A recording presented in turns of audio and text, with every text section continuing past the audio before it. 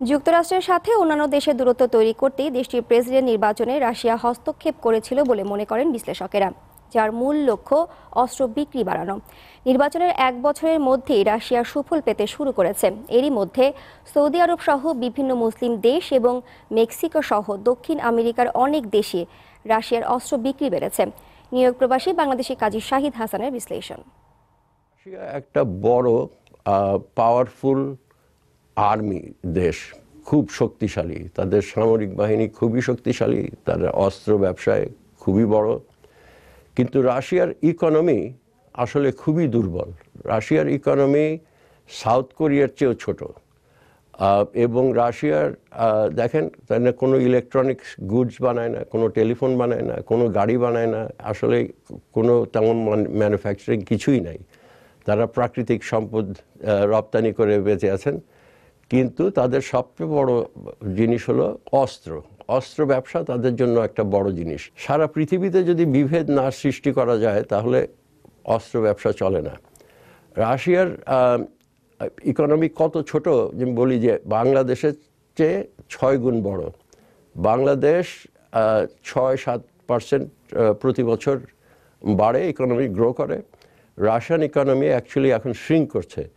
এবং যারা এখন বাংলাদেশে খুব অল্প বয়স, তাদের জীবদ্দশাতে বাংলাদেশের ইকোনমি রাশিয়ার ইকোনমির চেয়ে বড় হবার সম্ভাবনা খুবই বেশি। এটা আমরা বুঝতে পারি না। খালি আমরা রাশিয়া একটা বিরাট আণবিক শক্তি, বিরাট নিউক্লিয়ার পাওয়ার একটা ভাবে হিসাবে মনে হয় যে বিরাট দেশ, কিন্তু সেটা তেমন কিছুই না। ট্রাম্প তাদের বেসকে বাঁচানোর জন্যে বেসের সাথে বেসকে খুশি রাখার জন্য মুসলমান এই দেশে আসতে দেবে না, ইত্যাদি ইত্যাদি।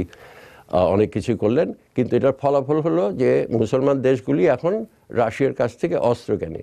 এমনকি সৌদি আরেবিয়ার প্রিন্স সালমান, প্রথম সাউদি রাজা যিনি রাশিয়া গিয়েছিলেন গত অক্টোবর মাসে এবং তাদের কাছ থেকে অস্ত্র কিনেছিলেন।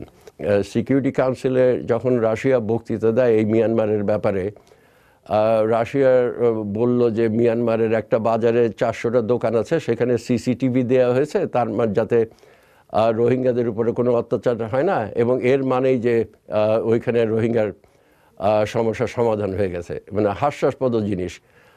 এইটা টিভিতে একটু দেখেন এইটা করে কেন রাশিয়া? কারণ রাশিয়া চায় যে মিয়ানমার তাদের কাছ থেকে আরও বেশি অস্ত্র বিক্রি করুক।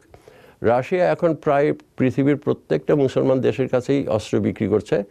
কারণ সবাই আম, আম, আমেরিকার উপরে আস্থা হারিয়ে ফেলেছে।